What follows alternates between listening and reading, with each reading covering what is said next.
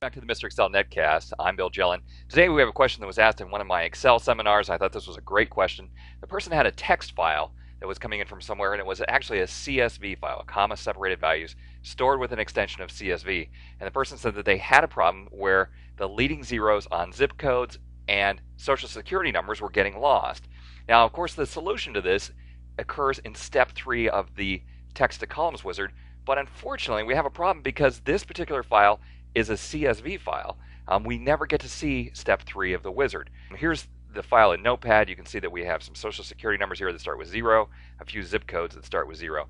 Now let's take a look at what happens when we open this file with Microsoft Excel. Because it's a CSV file, Excel automatically opens the file without taking us through the text to columns wizard and you'll see that we lost the leading zeros on all of those numbers and the leading zeros on the zip codes. We need to find a way to force Excel to take us through the text to columns wizard.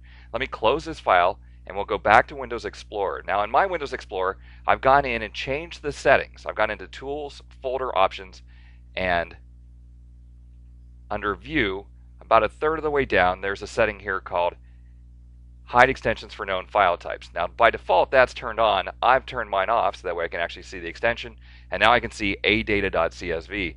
The trick to solve this problem is to go through, rename the file. So I'm going to rename, and change it to a .txt file. So I changed it from a CSV file to a TXT file. It warns us, it says, if you change the file name extension, it may become unusable. Well, that's okay because we're just changing from CSV to text. Now if we go back to Excel, we use File Open. We say that we want to see all the text files.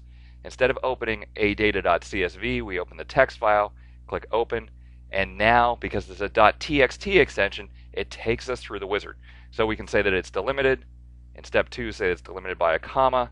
And then in step three, this is the important part, we'll say that this field, the social security number, is text and the zip code field is text. That forces the leading zeros to stay put. Now, of course, I hate using that text option, but in this case, we have no choice in order to keep those leading zeros. The big problem we have is that this column is now, I'll call, poisoned. We can't insert any new formula. So if I come here equal 2 plus 2, we get the text instead of the formula. You actually have to go through and reformat those columns as general if you need to be able to later enter formulas or totals. Of course, no reason to enter totals in the social security number or zip code, um, so we don't have a problem there.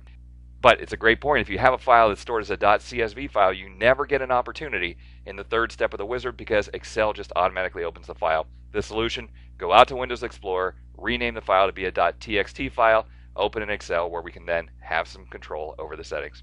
Hey, thanks for stopping by. We'll see you next time for another netcast from Mr. Excel.